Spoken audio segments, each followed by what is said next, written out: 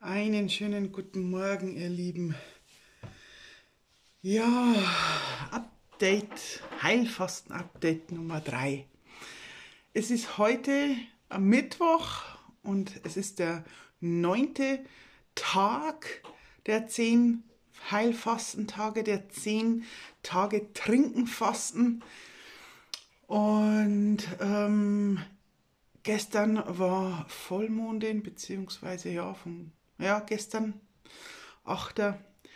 Und für mich jetzt, ähm, von mir erzählt, der, Gruppe möchte ich jetzt gar nicht so viel sagen, aber für mich persönlich war es dieses Mal sehr intensiv und ich kann sagen, dieses Mal ist wirklich dieses Heilfasten so extrem ähm, leicht intensiv, aber eben auch so, dass ich an gewisse Thematiken rankomme und die wirklich hochkommen, rauskommen.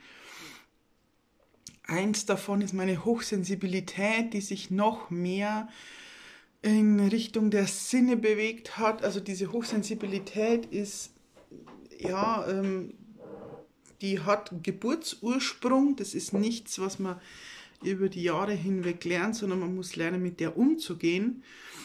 Und ähm, das heißt, meine Sinne sind sehr überreizt, ganz oft. Und deswegen bin ich auch sehr ungern unterwegs oder unter vielen Menschen, weil es mich äh, und meine Sinne sehr überreizt. Das heißt, mein Sehsinn, mein Hörsinn, mein Geruchssinn, ja, und auch der Geschmackssinn sind, das ist nicht bei allen Hochsensiblen so, ähm, aber bei mir ist es halt so und der ist sehr, die sind wie, die sind ohne Puffer. Ihr müsst euch vorstellen, ich gehe irgendwo Shopping, Meile, ja, bei uns zum Beispiel Passau Stadtgalerie, wenn ich da einen halben Tag drinnen umeinander latsche, brauche ich mindestens einen halben Tag äh, Urlaub, also brauche ich Erholung, brauche ich Ruhe, da darf mich keiner ansprechen, da nichts, da darf kein Fernseher, nichts laufen, da brauche ich Ruhe, um mich zu erholen.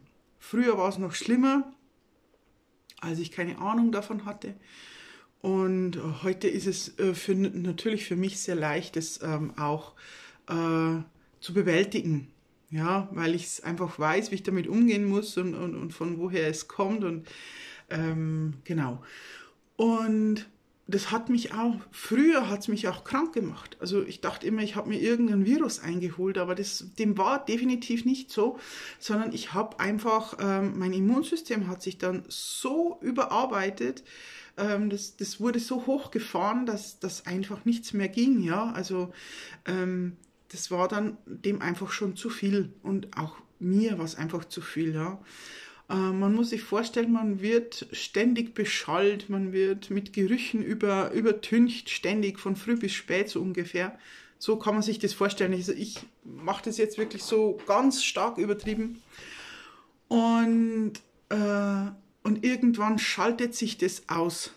Irgendwann schaltet sich der Geruchssinn aus, irgendwann ähm, macht auch die Stimme ja ähm, äh, sich äh, bemerkbar, beziehungsweise eben auch der Hörsinn ähm, irgendwann und auch der Sehsinn. Ich gehe einmal im Jahr oder alle zwei Jahre gehe ich mal äh, wirklich zum, ja, ich, ich lasse das einfach anschauen.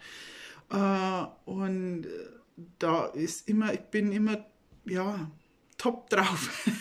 so, ich sag's jetzt mal so.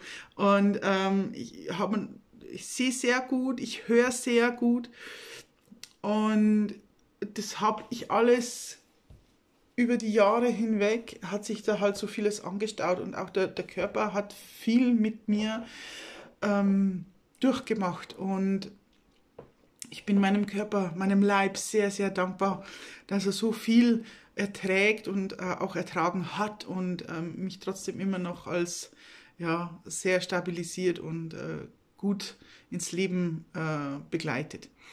Und dieses wo will ich hin? Also es geht darum, dieses, dieses, diese Sinne, die haben nicht hochsensible, ähm, die haben so, wie ein Puffer ist es. Die können durch die Stadtgalerie latschen und, und, und, machen und tun und dann danach noch zu Hause kochen, putzen und aufräumen und ähm, solche Dinge. Und das ist mir ähm, viele Jahre nicht mehr möglich gewesen. Das ist echt schwierig. Und jetzt, wo ich so arbeite, intensiv auch im energetischen Bereich, ist es mir, ähm, ja, brauche ich auch Erholung, ich brauche Ruhe. Ja, und ich bin sehr froh, dass ich hier im, äh, ja, in einem sehr ruhigen Dorf lebe, wo wenig Verkehr ist, im Anführungsstrichen wenig Verkehr wenig, wenig Lautstärke. Ja? Also ich kann raus und bin im Wald und das ist halt sehr genial und da bin ich auch sehr dankbar dafür. Und das hat jetzt beim Heilfasten, ähm, durch das, dass ich plötzlich, dass sich die abgeschaltet haben, dass die über, äh, überreagiert haben, ähm, haben sie sich lange Zeit abgeschaltet. Und heute oder ja, jetzt diese Tage einfach schon, ist es so, dass der Körper vieles so entgiftet hat, schon rausgeholt hat, ähm, dass ich alles rieche, alles, alles, was irgendwie an mir vorbeihuscht, rieche ich intensiver.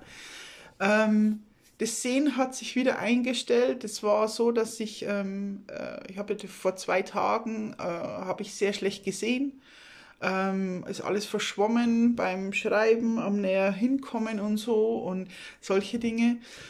Und ähm, ja, natürlich auch das Hören. Ja, es war jetzt immer sehr interessant auch zu spüren, wie stark sich das äh, wieder gezeigt hat, wie gut ich höre. Ich höre halt Dinge einfach, die andere dann nicht hören. Und das Sehen hat sich jetzt auch wieder reguliert. Es ist noch ein bisschen dran, es muss sich noch ein bisschen regulieren, aber ähm, ja, und auch mein ganzer Leib reguliert sich. Ich habe ich hab äh, eine kürzere Seite, die rechte Seite ist ein bisschen kürzer und dadurch auch das Kiefer äh, äh, nicht richtig und das richtet sich alles gerade wieder ein. Das ist wunderbar und ähm, es ergänzt sich sehr vieles wieder und es darf sich jetzt auch wieder erfüllen, ja. Und mit dieser Arbeit jetzt, in, diesem, in dieser Periode der Heilfastenzeit, ähm, mit dieser Gruppe jetzt, passiert sehr viel, ja. Ist vielleicht jetzt nur kurz nebenher, also auch die Nase läuft, ja, weil der Körper einfach entgiftet und das ist supi. das ist sehr gut. Feuchte Schleimhäute, ja, das ist hervorragend. Speichelfluss ist ganz stark und das brauchen wir für unsere Verdauung grundsätzlich. Ja, wir haben mm, sehr wenig Speichelfluss, äh, auch die Menschen grundsätzlich und das ist nicht gut. Das, deswegen haben viele auch Verdauungsprobleme. Ähm, weil der Speichelfluss nicht funktioniert, ja, oder weil er zu wenig ist. Und da gibt es viele Kräuter, die man auch äh, als, äh, die man einnehmen kann, die man zu sich nehmen kann, als Tee, als alle möglichen, ähm, damit einfach das auch wieder reguliert wird. Und natürlich auch das Heilfasten ist ein sehr, sehr guter ähm, Begleiter dabei, wenn man da wirklich Probleme hat. Ähm, es ist im Ganzen eigentlich eine geniale Geschichte wieder und gestern war Vollmond. Und der hat so vieles eben wieder hervorgebracht. Er hat so Sachen hervorgebracht wie, ähm, ah, ja, es ist wie, ich kann es gar nicht beschreiben. Also es ist so, dass äh, ich keinen Hunger habe. Ja? Also Hunger ist keiner da. Ähm, das muss auch so sein, es soll auch so sein, es ist ganz wichtig, weil sonst, äh, wenn Hunger entsteht, ist Mangel da. Und dieses Mal ist es äh, wirklich so diese Reste von ich will das haben. Ich will äh, das, was die da gerade kochen, das will ich haben. Und es hat dann auch eine mit im, im Kurs, es kam, kam dann das Thema auf, die Gier. Und man glaubt, man hat es vielleicht sogar schon ein bisschen abgelegt, aber sie zeigt sich dann in den einfachsten äh, Dingen, ja, wie Essen, die Gier nach Essen. Und dann hat es nichts damit zu tun, äh, um überleben zu können, schon auch. Aber hier ist es die Gier, ja. Da geht es um gierig sein, das haben zu wollen, weil Hunger hat man keinen. Und wegen dem Hunger ähm, ist es nicht, ja. Also es ist, wie gesagt, keiner muss hungern äh, in dieser Zeit. Aber Es ist hier wirklich die Gier und die hat sich jetzt gezeigt und zwar gestern auch mit der Vollmondin und sehr intensiv, ja, die kam dann direkt auch nachts, äh, kurz bevor ich ins Bett gehen wollte, kam die noch hoch und ich dachte mir, was ist das jetzt? Ja, was, was soll das jetzt? Diese Gier nach Essen, nach komm, brich ab, mach einfach und koch dir was Schönes.